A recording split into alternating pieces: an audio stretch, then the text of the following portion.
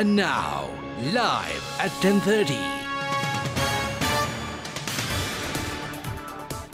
ආයිබෝවන් සුබ සන්ධ්‍යාවක් ඔබෙක් වන්නේ රාත්‍රී දහය ඉතිහ අපගේ ප්‍රධාන ප්‍රවෘති ප්‍රකාශය සමකින්. ෆෙස්බුක් පුවත් පිටු අතරින් වැඩිම ක්‍රියාකාරිත්වය සහිත පුවත් පිටුව බවට ස්වර්ණවාහිනි ලයිවට් 7 ෆෙස්බුක් පුවත් පිටුව පත් වුණා. ඒ රූපවාහිනි තිරය මෙන්ම සමාජ මාධ්‍යයේ ඔස්සේත් ස්වර්ණවාහිනි ලයිවට් 7 කෙරෙහි ඔබ තැබූ විශ්වාසය හේතුවෙන්. ඒ විශ්වාසය තවදුරටත් තහවුරු කරමින් අදත් ප්‍රවෘත්ති මැදිරියේ සිට ඔබ හමුවන මම නදීක කරුණානායක. මම චවිකා ගුණසේකර සුපුරුදු පරිදි අදත් මුල් අවධානය දවසේ ප්‍රධාන පුවත් සිරස්තල. කොළඹ කසල ගැටලුව උග්‍රවන ලකුණු. ගෙනපු කුණු කටනට ගීලා තුරටිකත්තක්කම ඉංගල ඉංගලන්තර පටවන්න තියන්නේ මේවත් එක්කම ද පිටට ඉඳලා කුණු ගෙන්නල මේ දාන ඒගොන්ට මොකුත්න අපි නිකන් දැම්මොස්සර දෙදස් පන්සිය අපට ගානවා. රැකයා ඉල්ලූ උසස්ථාක්ෂණ ඩිප්ලෝමාධාරින් විසුරුවා හැරීමට පොලිසින් කඳුළු ගෑස් සහ ජල ප්‍රහාර.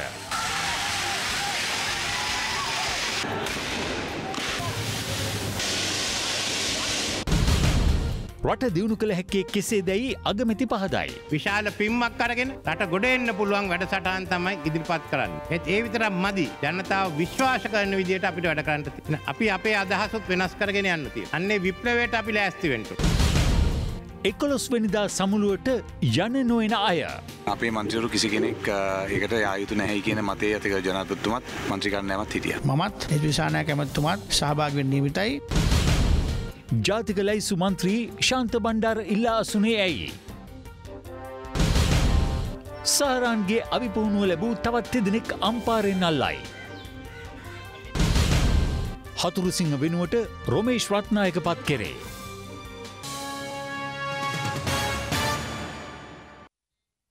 මුලින්ම දේශය පුවත්. කෙරවල පිටිය කසල අංගනයේ කසල එක්රැස් කිරීම නවතා දැමීම මත සමග කොළඹ නගරේ තැනින් තැන අදත් කසල එක්රැස් වී තිබුණා. කෙසේ වෙතත් මහනගර සහ බස්නාහිර සංවර්ධන අමාත්‍යංශය සඳහන් කළේ කොළඹ කසල පිළිබඳව මතු ඇති මෙම අර්බුදය ඉදිරිදින කිහිපය තුළ විසඳීමට අපේක්ෂා කරන පවයි. කොළඹ කසල බැහැර කිරීම කලක සිට සිදු කරුණේ බ්ලෝමැන්ඩල් මීතට මුල්ල සහ කරදියාන පිහිට ස්ථාන තුනකටයි. කෙසේ වෙතත් බ්ලූමැන්ඩල්හි කසල බැහැර කිරීම නවතා දමනු ලැබූ අතර දෙදහස් දාහත වර්ෂයේ අප්‍රේල් මස මීතුට මුල්ල කුණුකන්ද කඩාවැටීමෙන් පසු කෙරවල විටිය ප්‍රදේශයේ ස්ථානයකට තාවකාලිකව කසල බැහැර කෙරුණා. කොළඹ මහනගර සභහ බලප්‍රදේශයේ මෙන්ම කෝට්ටේ කැලනිය වැනි පළත්පාලන බලප්‍රදේශ කිහිපයකද කැලිකැසල මුතුරාජ වෙල කෙරවල පිටියට බැහැර කෙරුණු අතර එලෙස දිනකට එම ස්ථානයට බැහැර කෙරුණු කසල ප්‍රමාණය මෙට්‍රික්ටොන් තුන්සියකට අධිකයි. කෙසේ වෙතත් කෙරවල පිටිය කසල බැහැර කිරීමේ ස්ථානයේ ධාරිතාව ඉක්මවා ඇතැයි පවසමින් පාර්ශව රැසකින් විරෝධය එල්ල වුණා. මීතොට මුල්ල කුණු කන්දට වඩා දැන් විශාල කුණු කන්දක් වත්තල ආසෙන්ට දායද කළ තියෙන මේ ආණ්ඩුව. වත්තල ආසනයේ මුතුරාජල ප්‍රදේශය කියන්නේ සාමාන්‍යයෙන් ප්‍රදේශයේ කෙනෙක්ට ගිහිල්ලා ගහක් හිටවන්න බැරි ප්‍රදේශයක්. බොරළු කැටයක් දාන්න බැරි ප්‍රදේශයක්. හැබැයි කුණු ටොන් ගණන් මිලියන ගණන් දැන් දාලා. මුතුරාජවෙල කෙරවල පිටිය කසලංගනය කසලවලින් පිරී සීමාව ඉක්මවීම හේතුවෙන් එහි කසල බැහැර කිරීම අත්හිටුවන බවයි මානගර සහ බස්නාහිර සංවර්ධන අමාත්‍යංශය පෙරේදා නිවේදනය කළේ. කෙසේ වෙතත් කසල බැහැර කිරීමට මේ වන විට හැකියාව පවතින පුත්තලම අරුවක්කාලු කසලංගනයට කැලිකසල බැහැර කිරීම තවමත් ක්‍රියාත්මක නොවන්නේ පළත්පාලන ආයතන අතර පවතින අර්බුදයක ප්‍රතිඵලයක් ලෙසයි. ඒ අරුවක්කාලු කසලංගනයට අයත්වන වනාතවිල්ලුව පළත්පාලන ආයතනය මගින් කසල අංගනය සහ ඒ අවට සිදුවන නඩත්තු වියදම් සඳහා මුදල් කසල බැහැර කිරීමට පැමිණෙන අනිකුත් පළත්පාලන ආයතන තුළින් අයකර ගැනීමට සූදානම්වීමත් සමකයි.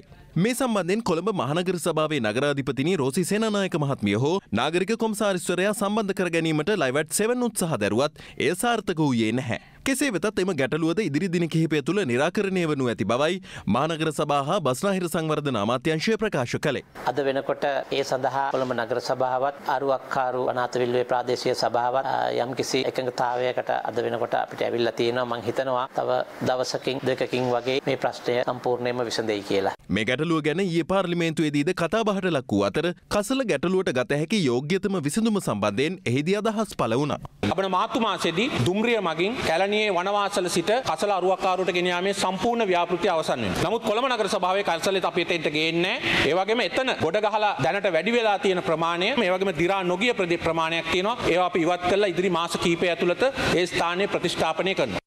දැන් අද කියනවා කොළඹ කුණු ටික මේ ගිහින් දාගන්න කොළඹ කුණු ටික ගිහින් දාගන්න තැනක් නැහැලු. දැන් ගිහිල්ලා මුතුරාජ වලට පහුගිය කාලේ දාගන්න. ඊට පස්සේ අපි දැක්කා මීතොට මුල්ලේ කේදවාචිකෙත් එක්ක අපි ලැබපු අත්දැකීම් කොළඹ කුණු ටික රීසයිකල් කරගන්න එහෙම නැත්නම් ප්‍රතිචක්‍රීකරණ ගන්න වැඩපිළිවෙලක් නැති රටකට කොහොමද අපි කතා කරන්නේ පිටරට එන කුණු ටිකක් රීසයිකල් කරගන්න ප්‍රතිචක්‍රීකරණය කරගෙන ඉන්න මොන තරම් අමන යෝජනාවක්ද මේ යෝජනා ගේන්නේ කෙසේ වෙතත් මෙම කබෑදිල්ලේ ප්‍රතිඵලයක් ලෙස කොළඹ ස්ථාන රැසක ජනතාව දැඩි පීඩාවකට පත්ව සිටින්නේ දින කිහිපයක සිටයි. නගරේ ස්ථාන රැසක කැලිකසල ගොඩගසා තිබූ අයුරු අපටද දක්නට ලැබුණා.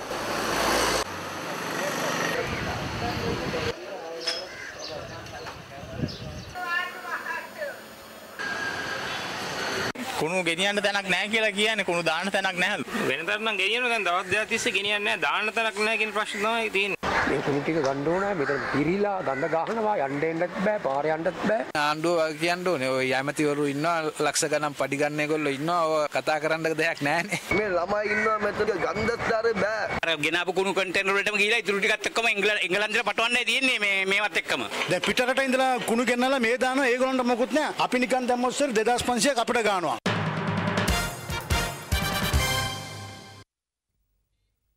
උද්ඝෝෂණ පාගමනක නිරත වූ අන්තර් උසස් ජාතික ගණකාධිකරණ ඩිප්ලොමාධාරයෙන් පිරිසක් ජනාධිපති ලේකම් කාර්යාලයේ ආසන්නයේදී අද ජල හා කඳුළු ගෑස් ප්‍රහාරයක් එල්ලකොට විසුරුවා හැරුණා. ඔවුන් උද්ඝෝෂණයේ නිරත වුණේ තමන්ටද සංවර්ධන නිලධාරී පත්වීම් ලබා දෙන්නැයි ඉල්ලමෙන්. කොළඹ කොටුව දුමරිසාන ඉදිරිපිට උද්ඝෝෂණයක නිරත වූ උසස් තාක්ෂණ ඩිප්ලෝමාධාරයෙන් පසුරු එකට පමණ පාගමන ආරම්භ කළා. ඒ රංජිත් මද්දුම් බණ්ඩාර අමාත්‍යවරයා සමග පැවති සාකච්ඡා අසාර්ථක වීම හේතුවෙන්. මෙම උද්ඝෝෂණයේ සංවිධාන කර තිබුණේ පසුගියදා ලබා දුන් සංවර්ධන නිලධාරී පත්වීම් තමන්ටද ලබා දෙන ලෙස ඉල්ලමින්.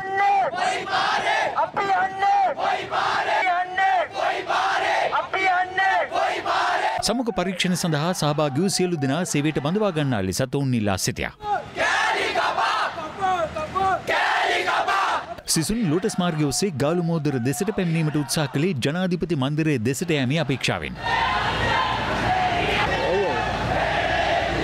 පොලිස් මාර්ගබාධක දා ඔවුන් ජනාධිපති මන්දිරයේ දෙසට පිවිසීම වලක්වා තිබුණද එහිදී මාර්ගබාධක බිඳ දමා ඉදිරියට යාමට උත්සාහ කළ උද්ඝෝෂකයන් මෙලෙස ජල හා කඳුළු ගෑස් ප්‍රහාර එල්ල කර විසුරුවා හැරියා.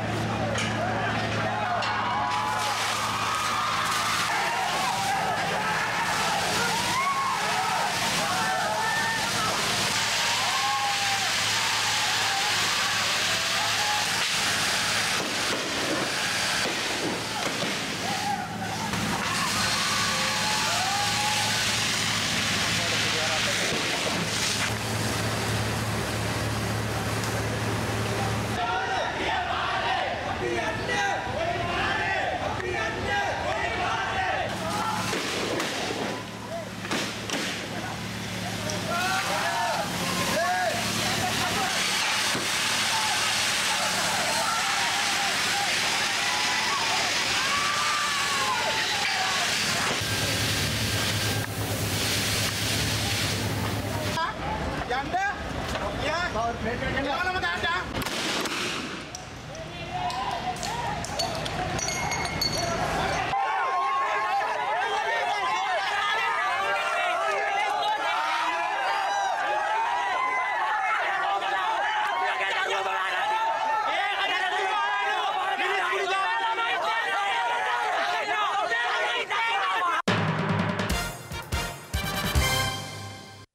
හිටපු නෞක හමුදාධිපති අද්මිරාල් වසන්ත කරන්නාගොඩ මහතා සහ හිටපු ගුවන් හමුදාධිපති එයා චීෆ් මාර්ෂල් රොෂාන් ගුණතිලක මහතා ගෞරව නිලයන්ගෙන් උසස් කිරීමට ජනාධිපති මෛත්‍රීපාල සිරිසේන මහතා කටයුතු කර තිබෙනවා.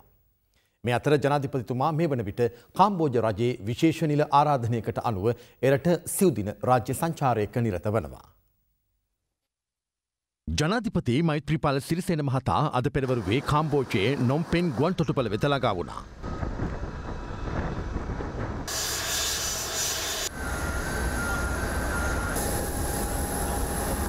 කාම්බෝජ රජයේ විශේෂ නිල ආරාධනයකට අනුව ජනධිපතුමා එරට සිව්දින රාජ්‍ය සංචාරයක නිරත වනවා.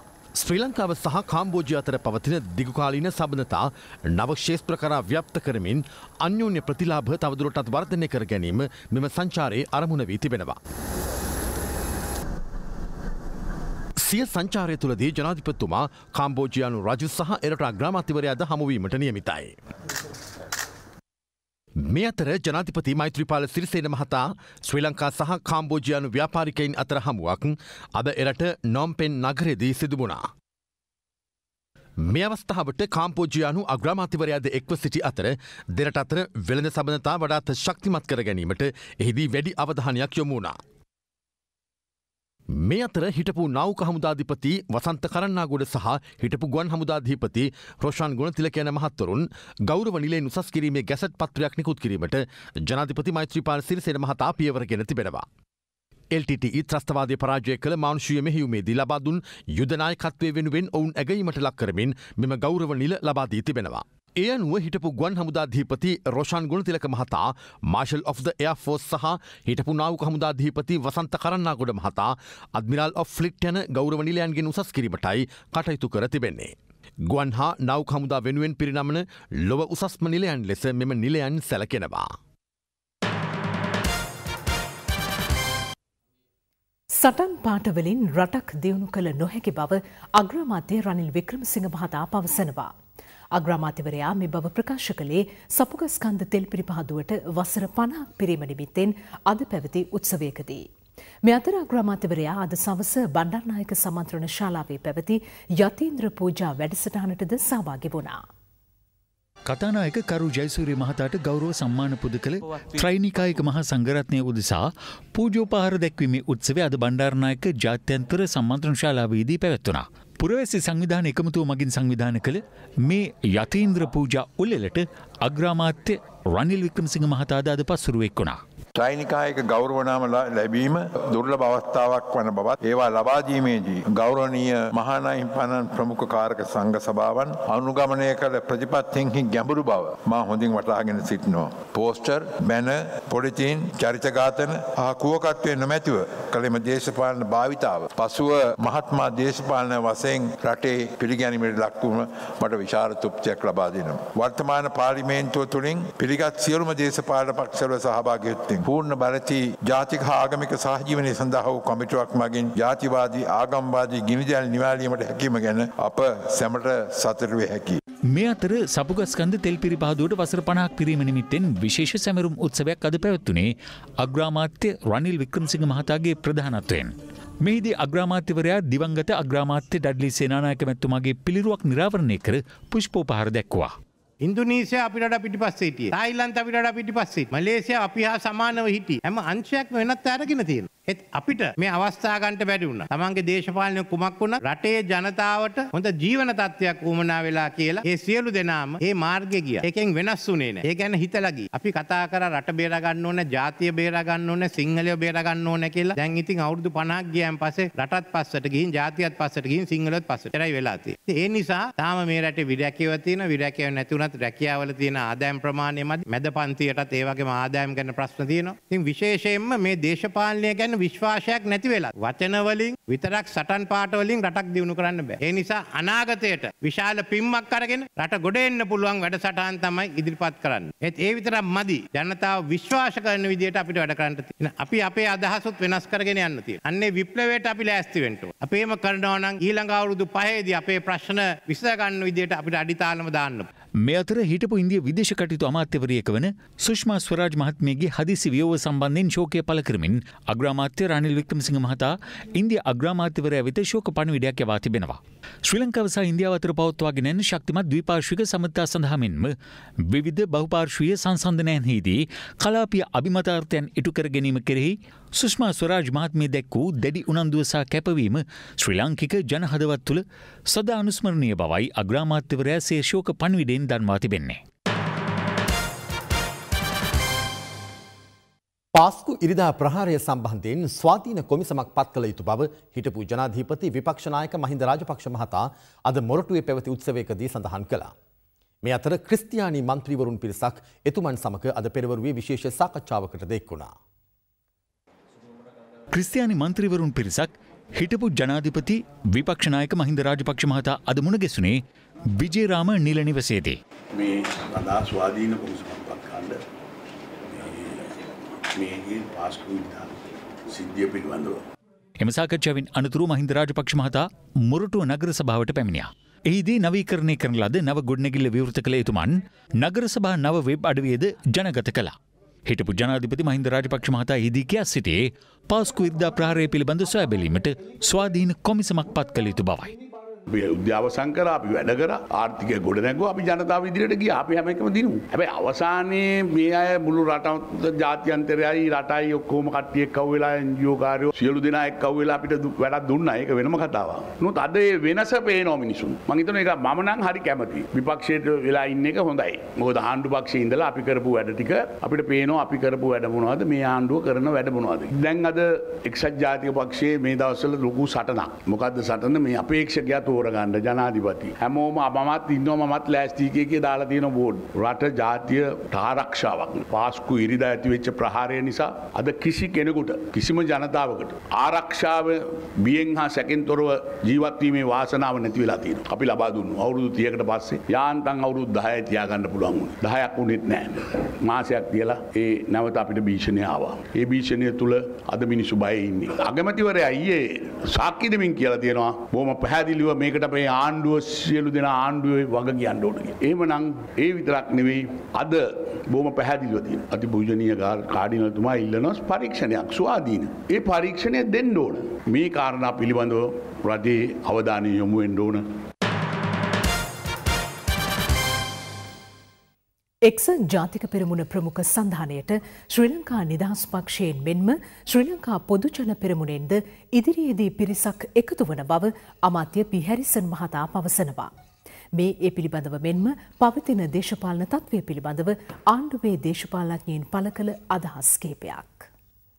අපිට ඕනන්නේ ඊළඟ මැතිවරණය ජයග්‍රහණය කරන්න. ඉතින් ඒකට තම තමන්ගේ අදහස් ප්‍රකාශ කරලා තියෙනවා. ඒක නිසා අපි පුළුල් සන්දානයකට යන්නෙත් ඒකයි ඒ සන්දානයකට යනකොට විවිධ මත ගැටුම් ඇති වෙන. අවසානයේ එක මතයකට එනවා. සිල බහුතරයක් අද ඉන්න සජිත් ප්‍රේමදාස මහත්තයා අවශ්‍යයි කියලා ජනාධිපති අපේක්ෂක හැටි.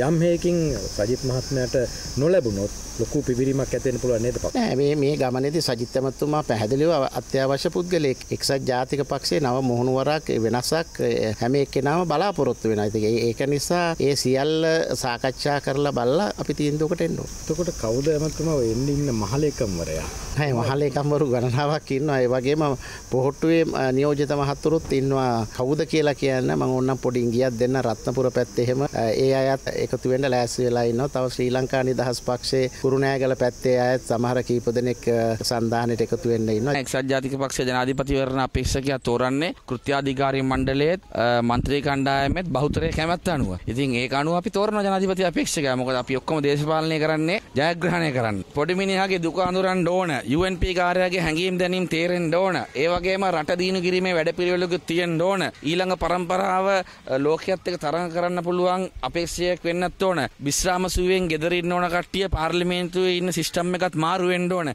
මේ ඔක්කොම නෑව කරන්න අවුරුදු 52 ජනාධිපතිවරයෙක් අපි පත් කරනවා. අනිවාර්යෙන් දිනනවා. මේ අතර එක්සත් ජාතික පක්ෂයේ හිටපු මහලේකම්වරයෙකු වන තිස්ස අත්තනායක මහතාද එක්සත් ජාතික පක්ෂයේ ජනාධිපති අපේක්ෂකය පිළිබඳ අද කුරුණෑගලදී අදහස් පළ කළා. ජනතාවගේ අදහස කුමක්ද කියලා තේරුම් ගන්න එපා. ඒ තේරුම් අරගෙනනේ ජනාධිපති අපේක්ෂකෙක් නම් කරන්න ඕනේ. ඉතින් වඩාත් ජනප්‍රිය පොද්දලා සජිත් ප්‍රේමදාස මහතා නම් ඔහු නම් කිරීම පක්ෂය විසින් කළ යුතුයි. ඒ තත්ත්වයට ගේන්න කවුරු හරි මැදිහත් කරුවෙක් ඕනේ. මට පේන්නේ එක්සත් ජාතික පක්ෂයේ ඒ සඳහා යම් මැදිහත් කරුවෙක් ඉන්නවයි කියලා. මේ විදිහට පක්ෂය බෙදලා වෙන් වෙලා යන්න උත්සාහ කළොත් ඒ ඒ කඩාගෙන වැටීමක් මිසක ජයග්‍රහණයක් නම් ලැබෙන්නේ නැහැ. ඒ මැදිහත් වීම ඉල්ලීම ඔතුමාට ආවොත් උතුමා වෙන්න සිද්ධ නැහැ. කාර්යභාරයක් ඉෂ්ට කරන්න පුළුවන් නම් මම ඒ වගකීම් බාර ගන්න ලෑස්තියි. ශ්‍රී ලංකා නිදහස් පක්ෂය සහ ශ්‍රී ලංකා පොදුජන පෙරමුණ ඉදිරියේදී ගිවිසුම් කිහිපයකට අත්සන් තැබීමට නියමිත බව ශ්‍රී ලංකා නිදහස් පක්ෂයේ මහලේකම් දයාශ්‍රී ජයසේකර මහතා පවසනවා. කෙසේ වෙතත් දයශ්‍රී ජයසේකර මහතා පැවසුවේ ඉදිරියේදී පැවැත්වෙන ශ්‍රී ලංකා පොදුජන පෙරමුණේ පක්ෂ සම්මේලනයට තම පක්ෂ සහභාගී නොවීමට තීරණය කළ බවයි. මේ අතර ශ්‍රී ලංකා පොදුජන පෙරමුණ සඳහනගත වීමේ වැඩ කටයුතු ලබන 16 වෙනිදා වන විට අවසන් කරන බව පාර්ලිමේන්තු මන්ත්‍රී ඩලස් අලහප්පෙරුම මහතා පැවසුවා. විපක්ෂ නායක මහින්ද රාජපක්ෂ මහතාගේ ප්‍රධානත්වයෙන් ඔහුගේ නිල නිවසේදී ඊයේ පසුරුවේ ඒකාබද්ධ විපක්ෂී පක්ෂ නායකයන්ගේ හමුවක් පැවැත්වුණා. මෙම අවස්ථාවට ශ්‍රී ලංකා පොදු ජන පෙරමුණේ නිර්මාතෘ හිටපු අමාත්‍ය බැසිල් රාජපක්ෂ මහතා දෙක්ව සිටියා.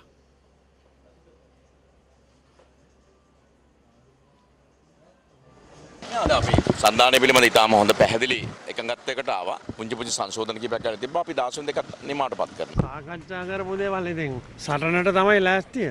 ඒ කියන්නේ ජනාධිපතිවරණයටද? ජනාධිපතිවරණයයි ආණ්ඩුවේ ජනතා විරෝධී අනපනත් ආපසු හැරවීමයි ඉක්මනින් ඒ තත්ත්වය හදාගන්න. ඔබතුමා ගැනත් යම් කිසි ආකාරයක කතා වුණා පෞගේ කාලේ නම් පහක් ගැන කතා වෙද්දි. ඔබගේ නමත් සඳහන් වෙනවා. ඉරිදට ප්‍රකාශයට පත් කරනවා ඉතින් ඔබ කලබල වෙන්න දෙයක් නැහැ. මේ අතර ජනාධිපති මෛත්‍රීපාල සිරිසේන මහතා සහ ශ්‍රී ලංකා නිදහස් පක්ෂ පාර්ලිමේන්තු මන්ත්‍රීවරුන් අතර ජනාධිපති නිල නිවසේදීත් සාකච්ඡාවක් පැවැත්වුණේ ඒ පස්වරුවේදී. පැය කිහිපයක් පුරා පැවති සාකච්ඡාවෙන් අනතුරුව මන්ත්‍රීවරුන් මාධ්‍ය වෙත අදහස් පළ කළා. අද මොනවද සාකච්ඡා කරන්නේ මේ මන්ත්‍රීතුමා? මෛත්‍රීපාල සිරිසේන ජනාධිපතිතුමත් බොහෝ විට ඉදිරි මැතිවරණට තරම් කරන්න තීරණය කරා. පොහොට්ටුවත් එක්ක එකකතාවයකට යමු වෙනවද? නෑ පොහොට්ටුවත් එක්ක අපේ එකතාවයක් නෑ. ඔබට ජනාධිපතිතුමා සහ මේ හිටපු ජනාධිපතිතුමා අතර සාකච්ඡාව මොන මට්ටමින්ද ගියේ? හොඳ සුවද මට්ටමින් සිද්ධ වුණා. මම හිතන්නේ තව සාකච්ඡා වට ගණනාවක් මම හිතන්නේ පවත්වන්න බලාපොරොත්තු වෙනවා. විශේෂයෙන්ම මෙතනින් පස්සේ යම් සාකච්ඡා මණ්ඩලයක් අධිකරු ජනාධිපතිතුමා පත් කරා අපේ පැත්තෙන්. ඒ කියන්නේ මෛත්‍රීපාල සිරිසේන ජනාධිපතිතුමා සහ මහින්ද රාජපක්ෂ හිටපු ජනාධිපතිතුමා අතර වෙනම එකඟතා යොසුමක් අත්සන් කිරීමේ පසුවද මේක කරන්නේ? ඔව් ඒක ඒක ওই විදිහට නෙමෙයි සමහරවිට ගිවිසුම් කීපයකට අපිට යන්න වෙයි. එතන දැම්ම මේ සම්බන්ධව අපිට මුත් කතා කරන්න බෑ. 11 වෙනිදා තිබෙන පොජන පෙරමුණේ සම්මේලනයට අපේ සහභාගිත්වයක් නොකරන බව තමයි අපේ තීන්දුව ආවේ. අපේ මන්ත්‍රීවරු කිසි කෙනෙක් ඒකට යා යුතු නැහැ කියන මතයේ අතිග ජනාධිපතිතුමත් මන්ත්‍රී කණ්ඩායමත් හිටියා. කෙසේ වෙතත් ශ්‍රී ලංකා නිදහස් පක්ෂ මන්ත්‍රීවරුන් වන ඩිලන් පෙරේරා සහ එස්.බී. දිසානායකන මහත්වරුන් පවසන්නේ පොදු ජන පෙරමුණේ සම්මේලනයට සහභාගී වන බවයි. මමත් එස් විසානායක ඇමතුමාත් ඇතුළු පෙරටේ ප්‍රගතිශීලී බලවේගවල ඉන්න සියලුම පාර්ලිමේන්තු මන්ත්‍රී සහභාගී වෙන්න නියමිතයි. නිමල් සිරිපාල මැතිතුමාත් සරත් තමුණුගම් මැතිතුමාත් මම දන්න විදිහට නිශාන්ත මුතුහෙට්ටිගම් වගේ අයත් දුෂ්යන්ත මිත්‍රපාල වගේ අයත් මම දන්න විදිහට ස්ථිර වශයෙන්ම ඉන්නේ මේ අපි ඉන්න දේශපාලන ස්ථාවරය තමයි. මෛත්‍රපාල ජනාධිපතිතුමත් ශ්‍රී ලංකා නිදහස් පක්ෂය. ඊළඟ ජනාධිපති මැතිවරණයේදී ඒ වමේ සන්ධානෙන් ඉදිරිපත් කරන අපේක්ෂකයා වෙනුවෙන් කැපවෙනවයි කියන එක මම ඔබතුමාලාට පැහැදිලිව කියන්න කැමතියි. ඔබතුමා දැන් 11 වෙනිදා පස්සේ පූර්ණ වශයෙන්ම පොදු ජන සත්මුනේ ක්‍රියාත්මක වෙන්නේ. මගේ දේශපාලන කටයුතු සිද්ධ වෙන්නේ අනිවාර්යයෙන් පොජ්ජන පෙරමුණේ කියන කාරණේ කියන්න ඕනේ. මේ වෙලාවත් මේ දවස්වල දායසි ජයසේකර මැතිතුමා කියනවා විශේෂයෙන් මගේ නම කියලා මට විරුද්ධව විනය පරීක්ෂණ තියෙනවා කියලා. මොකද මම පොහොට්ටුවත් එක්ක එකට වැඩ කරන නිසා. මම පක්ෂයේ වැඩ බලන ලේකම් නෑ. ඒතයා ලේකමුත් වැඩ බලන ලේකම්. ලේක ලේකමුත් නෙමෙයි. මම එතුමෙන් අහනවා දැන් මේ පොහොට්ටුවත් එක්ක සාකච්ඡා කරන මට විනය පරීක්ෂණ තියෙනවා. හැබැයි එලිපිට ශ්‍රී ලංකයෙන් UNP එකට ගිහිල්ලා UNP එකේ සංවිධායක ගත්ත කම් ගත්ත අයට සම්මුත් විනය පරීක්ෂණ නැහැ. මේ ලදරු පැටවු ටිකක් මේ මේවල් ඇවිල්ලා අද කියන දේ නෙවෙයි හෙට කියන්නේ හෙට කියන එක නෙවෙයි අනිද්දා කියන්නේ. ඒ වගේ හරක් පැටවු ටිකක් දාගත්තම ශ්‍රී ලංකා නිදහස් ගොඩ එන්නේ නැහැ. අපි ඉඳලා තමයි එක එක පැටියක් අයින් කරේ. අයින් කරලා අපි මහාචාර්ය රෝහන් ලක්ෂ්මන් ප්‍රියදාස එතන ගෙනාවා. එයා අපි ගෙනාවා. එයා ගෙනල්ලා ටිකක් දුර යනකොට තව තව ඒ වගේම පැටියක් ගෙනත් දාගත්ත අරුගේ පාට කළුයි මුගේ පාට සුදු එච්චර වෙනස. අග්‍රාමාත්‍ය රනිල් වික්‍රමසිංහ මහතා සහ එක්සත් ජාතික පක්ෂ නියෝජ්‍ය නායක අමාත්‍ය සජිත් ප්‍රේමදාස මහතා අතර හමුවක් ඊයේ පස්වරුවේ පවත්වා තිබෙනවා. අර්ලීගහ මන්දිරයේදී මෙම හමුව පැවති බවටයි තොරතුරු වාර්තා වන්නේ. මේ අතර මාතෘ හා ලදරු මන්ද පෝෂණය මෙරටින් තුරන් කිරීම සඳහා නවජාතික පෝෂණ ප්‍රතිපත්තියක් හඳුන්වා දෙන බව අමාත්‍ය සජිත් ප්‍රේමදාස මහතා සඳහන් කළේ කුරුණෑගල දිස්ත්‍රික්කයේ උදාගම්මානයක් ජනතා අයිතියට පත් කිරීම වෙනුවෙන් අද පැවති උත්සවයකට සහභාගි වෙමින්. කුරුණෑගල දිස්ත්‍රික්කය අමන්පොල වඳුරැස්ස ප්‍රදේශයේ ඉදි කළ සඳුන් ගිරිගම උදා ගම්මානයේ ජනතා අයිතියට පත් කිරීම වෙනුවෙන් මෙම උත්සවය පැවැත්වනේ නිවාස ඉදිකිරීම හා සංස්කෘතික කටයුතු අමාත්‍ය සජිත් ප්‍රේමදාස මහතාගේ ප්‍රධානත්වයෙන්.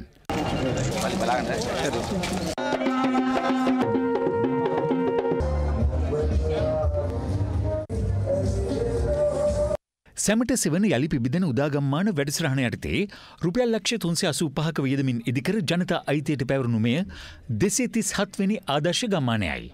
අද අපේ රටේ මව් පරපුරෙන් සියයට තිහ මාතෘ මන්ද පෝෂණයෙන් පෙරෙන. දරු පරපුරෙන් සියයට දාසයක් දාහතක් මන්ද පෝෂණයෙන් පෙළේ. කවුරුත් කතා කරන්න කොහොමද අපි මේ ප්‍රශ්නයට විසඳුම් ලබා දෙන්නේ. අපේ රටේ වගකීමෙන් පොරොන්දුවක් වෙනවා.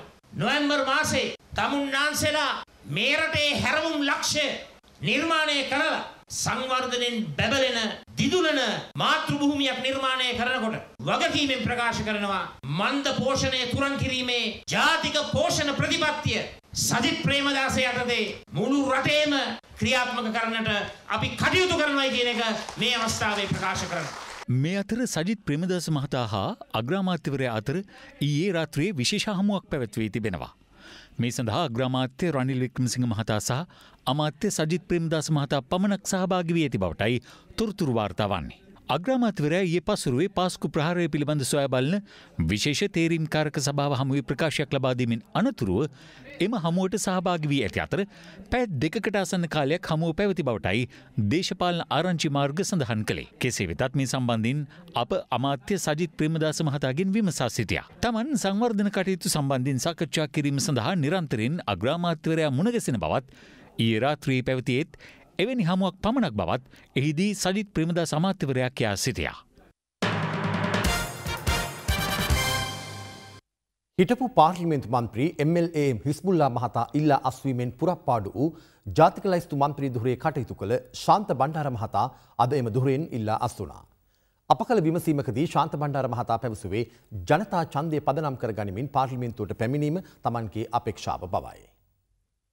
දෙදස් පහල වර්ෂය පැවති පාර්ලිමින්තු මහමතිවරණින් එක්සත් ජනතා නිදහස් සඳහන ජාතික ලයිසු මන්ත්‍රීවරයෙකු ලෙස පත් වූ එම්ල්ලම් හිස්බුල්ලා මහතා නැගිනි ආණ්ඩුකාර දුරයට පත්වීම සඳහා එම දුරෙන් ඉවත්වීම නිසා හිටපු පාර්ලිමින්තු මන්ත්‍රීවරයෙකු වන ශාන්ත බණ්ඩාර මහතාට ජාතික ලයිසුවෙන් පාර්ලිමින්තු වරම් ලැබුණා. ආධාරදීම අනුබලදීම අනුග්‍රහය දැක්වීම මුදල්යදීම ශාන්ත බණ්ඩාර මහතා දෙදහස් පහලෝ මහමතිවරණින් පරාජයට පත් වූ අතර ඔහු කුරුණෑගල දිස්ත්‍රික් මනාපලයිසුවේ මීළඟට තේරී පත්වීමට සින්න මන්ත්‍රීවරයයි. ශාන්ත බණ්ඩාර මහතාගෙන් පසු චන්ද මනාපලයිසුවේ මීළඟට සිටියේ ඩිබි හේරත් මහතයි. එයනු එක්සත් ජනතා නිදහ සඳන කුරුණෑගල දිස්ත්‍රික් පාර්ලිමින්තු මන්ත්‍රී සාලින්ද දිසානායක මහතාගේ අභාවයෙන් පුරප්පාඩු මන්ත්‍රීදුරයට ඩිබි හේරත් මහතා සුදුස්කම් ලබා තිබුණද වත්මන් පාර්ලිමින්තුවේ මන්ත්‍රී දුරේ හෙබ වූ ශාන්ත බණ්ඩාර මහතා අද ඉන් ඉල්ලා සුනා. පාලිමේන්තු මන්ත්‍රී ගරු ශාන්ත බණ්ඩාර මහතා සිය පාලිමේන්තු මන්ත්‍රී දුරින් ඉල්ලාස්වීමේ ලිපිය පාලිමේන්තු මහලේකම්වරයා වෙත බාදී ඇති බව පාර්ලිමේන්තු දැන්වීමට කැමැත්තෙමි. එම ලිපිය දැන් පාර්ලිමේන්තු මහලේකම්වරයා විසින් කියවනු ලැබේ. ලේකම්තුමනි එක්සත් ජනතා නිදහස් සන්ධාන ජාතික ලයිස්තු මන්ත්‍රී ධූරයෙන් ඉල්ලා අස්වීම එක්සත් ජනතා නිදහස් සන්ධාන ජාතික ලයිස්තුවේ මන්ත්‍රීවරයෙකු ලෙස කටයුතු කරන කුඩා විධානලාගේ ශාන්ත බණ්ඩාර වන මම අද දින සිට එනම් 2019 8යි 5 වන දින සිට එම ධූරයෙන් ඉල්ලා අස්වන බව කාරුණිකව දන්වන අතර එම ඉල්ලා අස්වීම බාර ගන්නාමෙන් කාරුණිකව ඉල්ලවීම ඉල්ලමි තවද එම පුරප්පාඩුව සලකා ඉදිරි ක්‍රියාමාර්ග ගන්නාමෙන් කාරණකව ඉල්ලා සිටිමි. අප කළ විමසීමකදී ශාන්ත බණ්ඩාර මහතා පැවසුවේ තමන් ජාතික ලයිසු මන්ත්‍රී දුරෙන් ඉවත් වූයේ ජනතා ඡන්දයෙන් පාර්ලිමේන්තු පැමිණීමට බවයි. එය අනුව ඔහුගෙන් හිසු එක්සත් ජනතා නිදහස් සන්ධාන ජාතික ලයිසු පාර්ලිමේන්තු මන්ත්‍රී දුරයට කිහිප දෙනෙක්ම ඉල්ලීම් කර ඇති බවයි අප කළ විමසීමකදී එක්සත් ජනතා නිදහස් සන්ධානයේ පාර්ලිමේන්තුව නියෝජනය කරන මන්ත්‍රීවරයෙකු ප්‍රකාශ කළේ. බොහෝ දුරට එම දුරේ හිටපු පාර්ලිමේන්තු මන්ත්‍රීවරයෙකු වන ජගත් පුෂ්පකුමාර මහතාට හිමිවන ඇති බවයි දේශපාලන ආරංචි මාර්ග පැවසුවේ. පොලිස් භාරයේ තිබූ තියුණු ආයුධ කිහිපයක් නැවත භාරදීමට උත්සාහ කිරීම හේතුවෙන් මහනුවර වෙළම්බඩ පොලිසියේ වැඩබලන ස්ථානාධිපතිවරයාගේ සේවය අත්හිටුවීමට පියවරගෙන තිබෙනවා. මහනුවර වෙළම්බඩ පොලිසි මගින් පසුගේ කාලයේ සිදු කළ මෙහිුම් වලින් තියුණු ආයුධ හැත්තෑ හයක් සහ පොරෝ දහතුනක් පොලිස් භාරයට ගෙන තිබුණා. අදාළ සිදුවීම සම්බන්ධයෙන් විමර්ශනයක් සිදු කරන අතරතුර පොලිස් භාරයට ගෙන තිබූ එකී ආයුධ යළි ලබාදීමට වැඩබලන පොලිස් ස්ථානාධිපතිවරයා ඊයේ උත්සාහ දරා තිබුණා.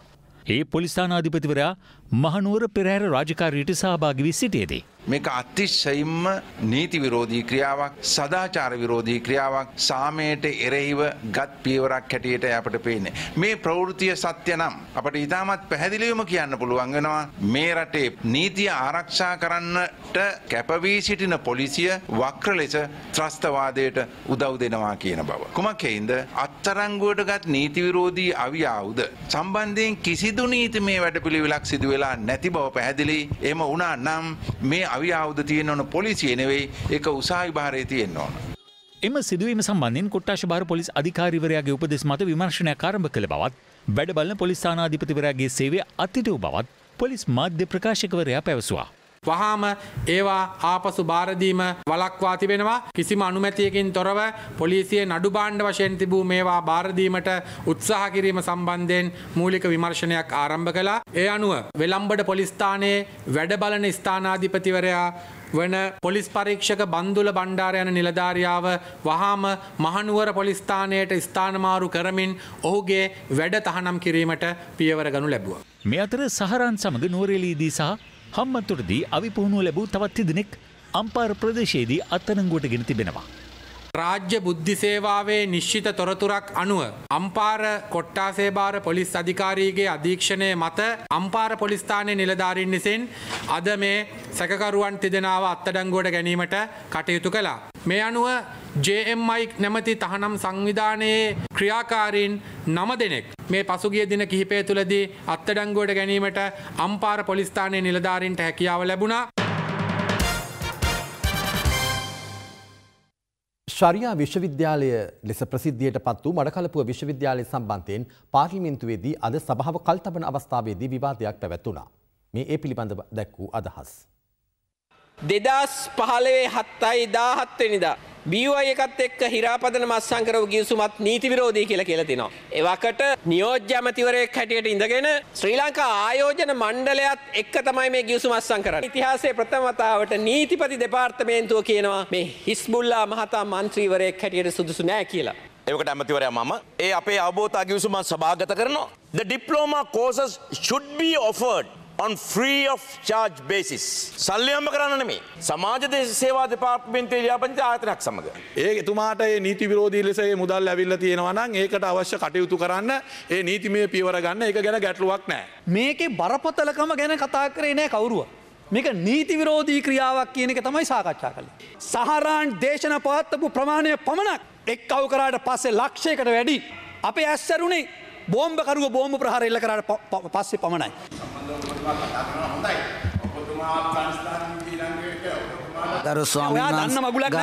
වහන්සේ ඔබ නොයි වාඩිගෙන අර හකී මැමරතුමාගේ සීලාචාර අහගෙන ඉන්න. මෝඩෙක් වෙන්න නැතුව. මේ මනුස්සයට තේරෙන්නේ නැහැ කියනද.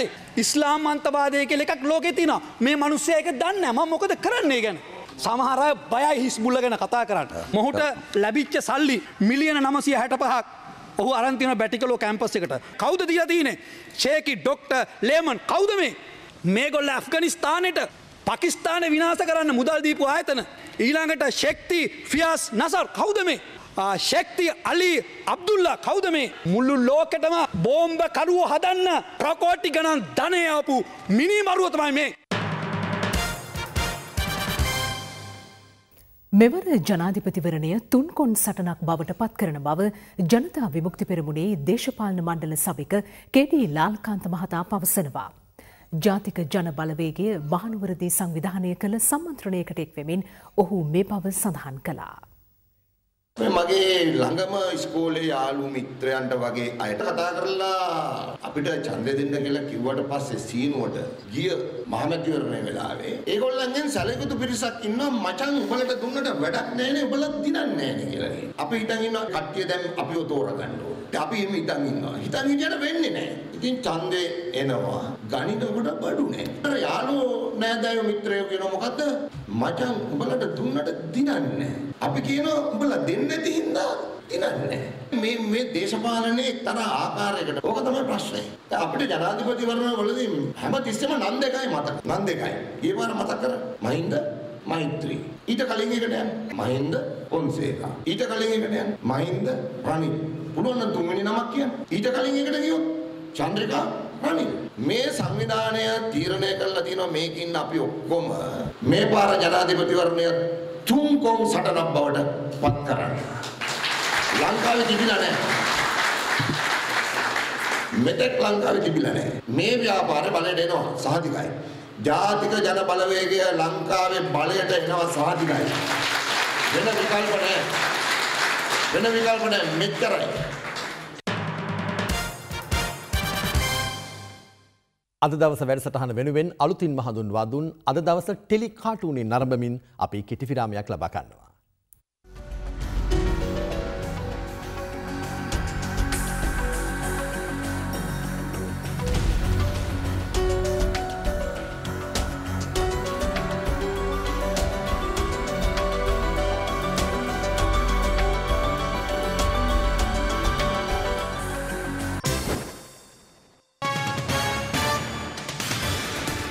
විරාමින් අනතුරුව තවත් දේශීය පුවත් කිහිපයක් ඔබ වෙත ගෙනීමටයි මේ සූදානම.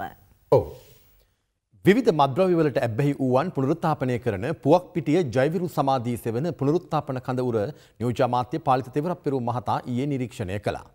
එම නිවාසිකයින් සඳහා ප්‍රමාණවත් සනිපාරක්ෂක පහසුකම් නොමැති බවයි එහිදී හෙළි වුණේ. මේ විවිධ මද්‍රව්‍යන්ට ඇබ්බැහි වූ වයස අවුරුදු තිහට අඩු පුද්ගලයින් පුනරුත්ථාපනය කරන අවිස්සාවේල්ල පුවක් පිටිය ජයවරු සමාධි සෙවන පුනරුත්ථාපන කඳවුරයි. සමාජ සේවා දෙපාර්තමේන්තු යටතේ පවතින මෙම මධ්‍යස්ථානයේ මේ වන විට නිවාසිකයින් එකසේ හැට පස් දෙනෙකු ප්‍රතිකාර ලබනවා. නියෝජ්‍ය අමාත්‍ය පාලිත තෙවරක් පෙරුම මහතා ඊයේ එහි ගියේ කඳවුරේ සනිපාරක්ෂක පහසුකම් ප්‍රමාණවත් නොවන බවට ලද තොරතුරකට අනුවයි. මේ නේවාසිකයින් නෑමට ජලය ලබා ගන්නා ස්ථානයයි. නාන්න පුළුවන්ද මේක? මේකෙම ගේන්න පුළුවන්. මේ පිටත් එක. මේ හැර නාන්න මේක. ඕගොල්ලන්ගේ බාත්රූම් හොඳ ටොප් එකට තියෙනවා, ටොයිලට් ටොයිලට් තියෙනවා. ඒවා හොඳට වෙන වෙන ලයිනක් තියෙනවා. සන්තෝෂයෙන් ඉන්නේ කොහෙද? මෙතන පේනවා සන්තෝෂයක් නැහැ කියලා. ජරාව ඔක්කොම ඉන්නේ මෙහෙට අර අර ගෙවල් වල තියෙනවා. මන ජරාවයි තාරාව ජරාව ඔක්කොම මේ මේ දරුවනේ මේ නාන්නේ මේ. මේ අපේ වෙල තියෙන්නේ. සත්තුන්ගේ මලපහ. ඔක මලපහ මේ දෙන්නේ. අර අර වැසිකිලි වතුර ඕගොල්ලෝ අර ඕගොල්ලෝ ටොයිලට් වල වතුර ඔක්කොම එන්නේ අර කානුවේ අද අද රාත්‍රියේ කානුවට එන්නේ. රෝගී තත්ත්වයන් සඳහා නිසි ප්‍රතිකාර නොලැබෙන බවද අමාත්‍යවරයාගේ අවධානයට ලක් වුණා. උදේ මෙයා වෙනවට හොස්පිටල් ආරේමද? කොල්ල ගෑණි ගන්න මොකද නේ? ඈ? කොයි කාලේ ඉඳන් ගෙනා පොරේ? ඈ? ඉතින් මොකටද මේ කියන්නේ මේ ඕගොල්ලෝ ડોක්ටර් ලා නැත්තම් නැත්තම් මොනවද වෙන්නේ මේ මේ වෙන්නේ මේ ඕගොල්ලෝ ඉඳලා ඉඳලා පුනරුත්ථාපන මධ්‍යස්ථානයේ නිලධාරීන් නිසි පරිදි සේවයට වාර්තා නොකරන බවද එහිදී හෙළි වුණා. දැන් කීයද නැද්ද පුතේ අහුම්කම් කීයද නැද්ද කියනවද? අද ඩියුටි එනවා ඔක්කොම ඉන්නවා 26ක්. ඔයා මේක ඩිරෙක්ටර්ද? ගිය මාසේ 11න් 11 අස්සන් වල ආයි 18. එතකන් කවුරු ඇවිල්ලත් නැහැ ගිහිල්ලත් නැහැ. දන්නවා දැන් හෙට උදේ මේක මේක නිලධාරි යනකම් මම මම මෙතන ඉන්න අවුරුදු දැනෙ ඉතින් මෙතන. පැදුරු කාලා කොහරි දිනවා මට මෙතන මුදියා. අනන්‍යතාව හෙළි කිරීමට අකමැති වූ සමාජ සේවා දෙපාර්තමේන්තුවේ නිලධාරියෙකු පැවසුවේ මෙවැන්නක්. මේකේ ඉන්නවා සමාජ දෙපාර්තමේන්තුවේ පොරු. නිකන් පරිගන්නේ උන්නත මේක කැගිරාව හතර දෙකින් දෙක කළා සර් අපි ගිය මාසේ. ඉතින් අස්සන්තර පස්ස කෙරවනවා. නේද? ඒක ටීවී වල. ආගේ අනිත් එක සිල්ලා බරු කොටෙක් කරනවා සර්. අපේ අම අය ප්‍රාදේශීය ලේකම් වල ඉන්න සමාජ වල නේ. අනේ සර් මේක සර් ෆීල්ඩ් එකේ යන්න සර්. රග ක්‍රීඩක තාජුටීන් ඝාතන සිද්ධියේ සාක්ෂි විනාශ කළේ යයි චෝදනා එල්ල කරමින් කොළඹ හිටපු ප්‍රධාන අධිකරණ වෛද්‍ය නිලධාරී ආනන්ද සමරසේකර මහතාට එරෙහිව කොළඹ මහාධිකරණය හමුවේ අධිචෝදනා ගොනු කර තිබෙනවා. මේ අතර ඇවන්ගාඩ් සමාගමේ සභාපති නිශංක සේනාධිපති සහ රක්නා ලංකා ආරක්ෂක සමාගමේ හිටපු සභාපති පාලිත ප්‍රනාන්දු යන මහත්වරුන්ට නිකුත් කළ වරෙන්තු නියෝගය ආපසු කැඳවන ලෙස කොළඹ මහාධිකරණය අද නියෝග කළා. ගල්වරයි පාවෙන අවිගබඩාවක් පවත්වාගෙනයාමට අවශ්‍ය කටයුතු ඉටුකරදීම සඳහා රුපියල් ලක්ෂ තුන්සේ තිස් පාකාල්ලසක් ඇවන්ගාඩ් සමාගමේ සභාපති නිශංක සේනාධිපති විසින් රක්න ලංකා ආරක්ෂක සමාගමේ හිටපු සභාපති විශ්‍රාමික යුදමුදාමේච ජෙනරල් පාලිත ප්‍රනාන්දුට ලබාදීම සම්බන්ධීන් වන නඩුව අද කොළඹ මහධිකරණේ යළි කැඳවනු ලැබවා. අදාළ චෝදනා සම්බන්ධින් ඇපමත මුදහැර සිටින නිශංක සේනාධිපති සහ පාලිත ප්‍රනාන්දු යන මහත්වරුන් අත්තරංගුවටගෙන අධිකරණය හමුවට ඉදිරිපත් කරන්නයි දන්වා නිකුත් කළ පරින්තුව ආපසු කැඳවන ලෙසයි කොළඹ මහධිකරණය එහිදී නියෝග කළේ. ඒ විත්තිකරුවන් දෙදෙනගේ නීතිඥවරු ඉදිරිපත් කළ කරුණු සලකා බැලීමෙන් අනතුරුවයි. මෙහිදී විත්තිකාර නිශංක සේනාධිපති මහතා අසනීප තත්වයකට පත්වී සිංගප්පූරුවේ ශල්‍යකර්ම තුනකට භාජනය වී සිටින බවයි නීතිඥවරු අධිකරණයට දන්වා සිටියේ. පාලිත ප්‍රනාන්දු මහතා වෙනත් නඩුවක් සම්බන්ධයෙන් රක්ෂිත බන්ධනාගාරගතව සිටින බවත් ඔහුගේ නීතිඥවරු අද අධිකරණයට දැනුම් දුන්නා. එය අනු විත්තිකාර පාලිත ප්‍රනාන්දු මහතා මීළඟ නඩු දිනේදී අධිකරණය හමුවට ඉදිරිපත් කරන ලෙස බන්ධනාගාර අධිකාරීවරයාට නොතේසි නිකුත් කළ මහාධිකරණය සිංගප්පූරුවේ ප්‍රතිකාර ලබන බව කියන නිශංක සේනාධිපති මහතාගේ වෛද්‍ය වාර්තාවක් අධිකරණයට ඉදිරිපත් කරන ලෙසත් නියෝග කළා. නඩුව ලබන සැප්තැම්බර් 4 වෙනිදා යලි කැඳවීමට නියමිතයි. මේ අතර රග ක්‍රීඩක වසීම් තාජුඩීන් ඝාතන සිද්ධියේ වැදගත් සාක්ෂියක් විනාශ කිරීමට කටයුතු කළේ යයි චෝදනා කරමින් කොළඹ හිටපු ප්‍රධාන අධිකරණ වෛද්‍ය නිලධාරී මහාචාර්ය ආනන්ද සමරසේකර මහතාට එරෙහිව නීතිපතිවරයා විසින් කොළඹ මහාධිකරණය හමුවේ අද අධිචෝදනා පත්‍ර ගොනු කළා. ඒ තාජුඩීන් ඝාතනයට අදාළව පශ්චාත් මරණ පරීක්ෂණයේදී වැදගත් අස්සි කොටස් දෙකක් අස්ථානගත කර ඇති බවටයි. මේ අතර ඉකුත් ජනාධිපතිවරණ සමයේ හිටපු ජනාධිපති මහින්ද රාජපක්ෂ මහතාගේ රුව සහිත ලිත් ලක්ෂ පණක් මුද්‍රණය කිරීම සඳහා දිවිනැගුම දෙපාර්තුමේන්තුවට අයත් රජයේ මුදල් සාවධ්‍ය පරිහරණය කළේ යයි චෝදනා කරමින් හිටපු අමාත්‍ය බැසි රාජපක්ෂ මහතාට එරිව ගුණ කර තිබූ නඩුවේ විභාගය ඔක්තෝබර් 14 වෙනිදා දක්වා කල් දැමීමටත් කොළඹ මහාධිකරණය අද නියෝග කළා. මේ අතර මරණීය දණ්ඩනය අහුසි කිරීමට අදාළව එක්සත් ජාතික පක්ෂයේ පාර්ලිමේන්තු මන්ත්‍රී බන්දුලාල් බණ්ඩාරිගුඩ මහතා පාර්ලිමේන්තු න්‍යාය පුස්තකයට ඇතුළත් කර තිබෙන යෝජනාවෙන් ආණ්ඩුක්‍රම ව්‍යවස්ථාව උල්ලංඝනය වීමක් සිදු නොවන බවට තීන්දුව කරන ලෙස ඉල්ලා නුගේගොඩ ප්‍රදේශීය පුද්ගලෙක් අද ශ්‍රේෂ්ඨාධිකරණයට පෙත්සමක් ඉදිරිපත් කළා. විරාමෙන් අනතුරුව කෙලි බිමතොරතුරු ඔබ වෙත ගෙනීමටයි සූදානම. ඔව්. එළඹෙන නවසිලන්ත ක්‍රිකට් තරඟාවලියේදී ශ්‍රී ලංකා කණ්ඩායමේ තාවකාලික ප්‍රධාන පුහුණුකරු දුරේට රොමේෂ් රත්නායක මහතා පත් කර තිබෙනවා. මේ අතර නවසිලන්ත ටෙස්ට් තරඟාවලියට සහභාගී වන විසි දෙදෙනෙකුගෙන් සමන්විත මූලික සංචිතයද අද ප්‍රකාශයට පත් කෙරනු අතර මේ සංචිතයට හිටපු ටෙස්ට් නායක දිනේශ් චන්දිමාල් යළි කැඳවා තිබීම විශේෂ සිදුවීමක්. ලෝකශූරතා ටෙස් ක්‍රිකට් තරඟාවලිය යටතේ ශ්‍රී ලංකාව සහභාගී වන පළමු ටෙස් තරඟාවලියේදී නවසීලන්තය සමගින් තරඟ දෙකකට මුහුණ දීමට නියමිතයි. පළමු තරඟයේ ලබන බදාදා ගාල්ලෙන් ආරම්භ වන අතර දෙවන ටෙස් තරඟය මේ මාස 22 වෙනිදා පැවැත්වෙන්නේ කොළඹ පීසරා ඕවල් ක්‍රීඩාංගණයේදී. ටෙස් තරඟාවලියට සහභාගී වන 22 දෙනෙකුගෙන් සමන්විත මූලික ශ්‍රී ලංකා සංචිතය අද ප්‍රකාශයට පත් කළා. එහි නායකත්වයේ දිමුත් කරුණාරත්න හිමිවෙද්දී හිටපු ටෙස් නායක දිනේෂ් චන්දිමාල්ද යලි ශ්‍රී ලංකා සංචිතයට කැඳවා තිබෙනවා. මේ ක්‍රීඩකින් අතරින් අවසන් 15 දෙනාගේ සංචිතය තෝරා ගැනීමට නියමිතයි. මේ අතර තරඟාවලිය පිළිබඳ දැනුවත් කිරීමේ මාධ්‍ය හමුව අද පස්වරුවේ කොළඹදී පැවැත්වුණා. නිත්‍ය පුහුණුකරුවෙක් ලංකා කණ්ඩායමට එනවද නැත්නම් කොයි විදිහටද මේ පුහුණුකාරීත්වය ඉදිරියට යන්නේ? Romesh Ratnayake we appointed him as an interim coach. ලෝකේ ක්‍රිකට් එක දිහා බැලුවම වර්ල්ඩ් කප් එකෙන් පස්සේ බංග්ලාදේශ වල කෝචින් ස්ටාෆ් එක හුඟක් කට්ටියව අයින් කරා. එතකොට සවුත් ඇෆ්‍රිකාවල ඔටිස් කිප්සන්ව අයින් කරා. අද පාකිස්තාන් වල මිකියාත ග්‍රාන්ඩ් ෆ්ලා ඒගොල්ලන් මේ කයි සෑහෙන කල් පුහුණුකරුවෙකුට දීලා තිබ්බා. සමහර මිස්ටේක්ස් අපි කරලා තියෙනවා. දැන් ක්‍රිකට් එක උඩට ගන්න අපිට තේරෙනවා මේ මිස්ටේක් එක කරෙක්ට් කරන්න ඕන කියලා. මේ අවුරුද්දෙන් අවුරුද්දට කෝච් වෙනස් වෙනකොට බෝඩ් එක ලොකු අඩුපාඩුවක් පේන්නේ නැද්ද මේ මේක අවුරුද්දෙන් අවුරුද්ද නෙමෙයිනේ දැන් අවුරුදු දෙකක් වෙනවා. අවුරුදු තුනකින් කෝච්ලා දෙන්නෙක් ඉඳලා තියෙනවා. ඔව් ඒක හරි. ඔයිට ඉස්සලා ජෙෆ් මාෂ් හිටියා. අපි ජෙෆ් මාෂ්වත් එයාගේ කොන්ට්‍රැක්ට් එක මගදී අපි අයින් කරා. කෝච්ව බේරගෙන ක්‍රිකට් එක වැටෙන්න දෙන්න බෑනේ ජෙෆ් මාෂ්ගේ කොන්ට්‍රැක්ට් කලින් නවත්තලා උට ලොකු ගාණක් ගෙවන්න උනා නේද? එහෙම ඒ වගේ ආයෙ වෙයිද චන්දික හතුරුසිංහට ඒකේ මම හිටියේ නෑ. දැන් අපි මේක අපේ ලීගල් ඇඩ්වයිස් ඔක්කොම අරගෙන තමයි කරන්නේ. ක්‍රිකට් දිගටම පැරදිලා පැරදිලා පැරදි පැරදි ගිහිල්ලා ලොකු ගානක් බේරගන්නවද ක්‍රිකට් දිනලා ලොකු ගානක් පාඩු වෙනවද ඕකේ දෙකෙන් එකක් අපි ඩිසයිඩ් කරන්න ඕන අපේ මේන් අයිඩියා එක ක්‍රිකට් එක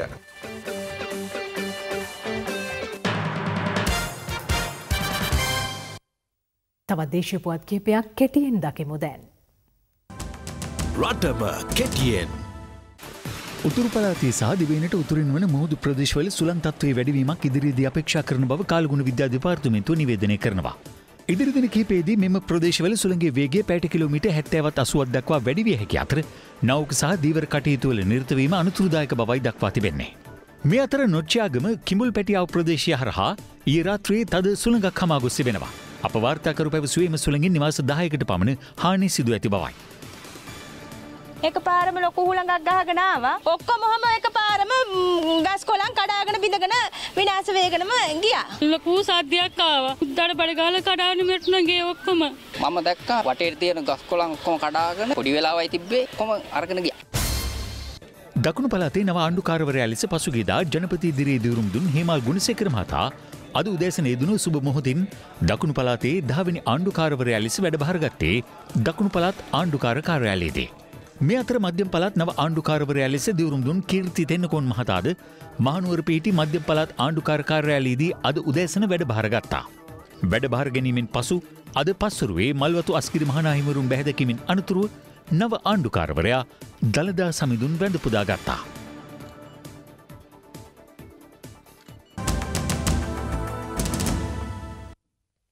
එසමගින් රාත්‍රී දහයයි තිහ අපගේ ප්‍රධාන ප්‍රවෘති ප්‍රකාශය අවසන් වෙනවා. මම නදීක කරුණනායක.